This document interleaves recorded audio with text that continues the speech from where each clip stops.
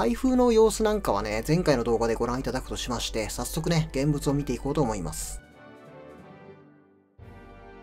前回の続きで、ベルファインさんから2020年の5月に発売されました、2001年宇宙の旅、アリエス号 EVAポッドセットから、今回はね、 EVAポッドをご紹介しようと思います。ディスカバリー号とスペースポッドがやっぱり2001年宇宙の旅において象徴的な2つですよね。これもね、また素晴らしいクオリティなんですよ。これもね、直径5センチぐらいですよ。考えられない造形。手がね、入ってなければこんな小さいとは思えないですよね。だってほんと手のひらサイズでそれ以下ですよ。こんなもんですからね。信じられますめちゃくちゃ小さい。めちゃくちゃ小さいのに、めちゃくちゃよくできてる。で、どれぐらいできてるか、細かく見てていきますかね。とにかくね、最初ね、えー、っと、この窓の部分ね、窓の部分は光沢のあるプラスチック感のある素材でね、中は見えるようにはなっていませんね。で、春9線の部分見ますか。ちょっと拡大したらいいか。春9線がここですね。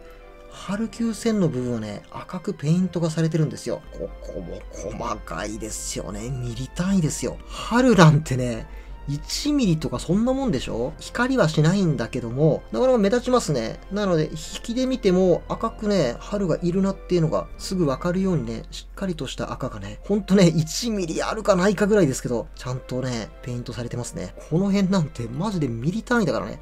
そしてここのね、ギザギザの部分とかもなんかウェザリングかかってるように見えますよね。すごい。ここのね、ライトのところは、もちろん光らないんだけども、シルバーのね、塗装が施してあり、これ4箇所ね、ここと、こことね、こっち側もそうなんだけど、ここはね、なんか絶妙にね、ライトが光ってるかのように反射をしてくれますね。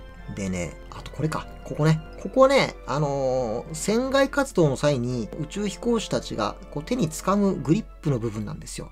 で、グリップなんで本当はね、ここ穴が開いてなきゃいけないんだけど、それはさすがにね、穴開いてませんが、しっかりこのグリップ部分がね、数箇所にね、だから無重力状態でいろんな角度であの宇宙飛行士がここにね、掴むんですよね。掴む時用のグリップがあるということで。多分この辺が、なんつうんだろうな、推進力この辺が確かね、推進力を何か持った、シューって出すんでしょうね。えー、そういう回転する際とかに使う推進力を持った何か噴射口みたいなものが四方八方にね、ついているということで、かっこいいね。素晴らしい。サイドの部分もね、色がとにかくいいよね。真っ白いんですよ。真っ白い中にバリッと黒いね、塗装が施されておりますね。で、この辺もちゃんとね、穴が開いているんですよ。素晴らしい。芸が細かい。この辺もそうか。この辺もね、ちゃんと凹凸がね、あって。ただね、色が塗ってあるだけじゃないんですよ。すごい。すごいね。マジ後ろがまたすごいね。さすがに読めないけれども、もう映画で見たまんまじゃないですか。ここがね、ハッチの部分、ここからね、えー、登場する際のゲートなんですけど、素晴らしいね。ちょっとね、ほんと言うことないんだよね。素晴らしいとしか言いようがないよ、今回も。で、裏側も見ときますか。裏側は劇中ではなかなか見る機会がありませんでしたけども、このような形で表現がされている。まあ、ほぼほぼ映ってないに等しいですよね。まあ、底面とかが唯一映る可能性があったのはあれかな。春がこのスペースポットをプール船長にぶつけに行って、跳ね返って飛んでいくシーンありますよね。あの時もしかしたらここ、くるって一瞬だけ映ってるかもしれない。ぐるぐるぐるぐる回ってんですよね、あの時ね。もうそれ以外はあんまり裏側が映ってるって印象はありませんよね。まあ、若干こういうアングルはあったんで、その辺で見て作ったのかな。よくできてんすよ、この辺も。ちゃんとね、造形してる。で、気になるのが、このアームかな。アームはね、多分動かないんですよ。アームは固定ですね。直角に、直角になっていて、ここもね、出したり入れたりできないので、アームは動きません。だけどかなり自然なね、船外活動する際のアームという感じでいいんじゃないでしょうか。アームを動かしたい方はね、メビウスさんの巨大なプラモデルキットをね、買うしかないですよね。いや、かっこいい。ちなみにもっと言うならば、このアームの先端の手の部分ね、ここもね、もちろん可動はしません。めちゃくちゃ小さいからね。もう一回見てきます。指との比較これですからね。めちゃくちゃ小さいな。それでここまで再現するって素晴らしいですよ、ベルファインさん。本当にありがとうございます。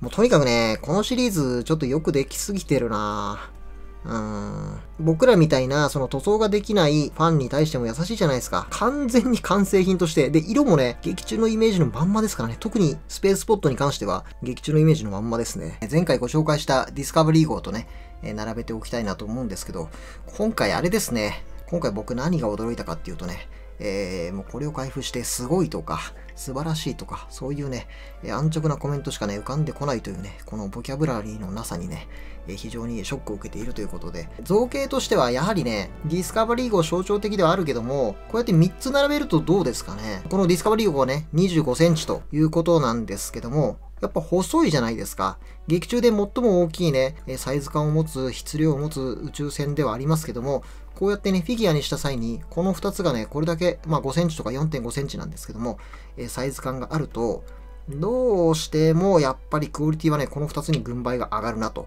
いうような印象ではあります。ただやっぱり2001年うちの旅というと、ディスカバリー号がやっぱ象徴の一つということであるので、これもおすすめではあるんですけども、クオリティとしては正直この2つ、半端ないな。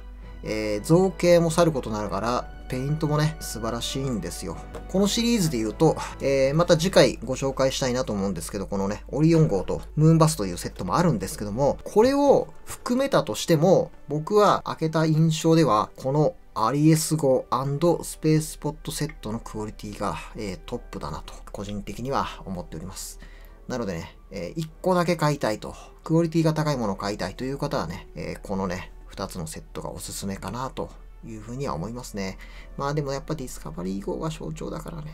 まあ結局でもね、やっぱりね、3つ買おうよとしか僕は正直思わないわけなんですけども、抜群に申し分ないのは、この2つのセットが、え、素晴らしいクオリティだったということで、えー、今回そんなところですね。えー、まあ、これちょっともう最近もフィギュアのレビュー溜まってるんで、えー、また時間がね、まとまった際にやりたいなと思いますんで、今回もそんなところで以上です。ありがとうございました。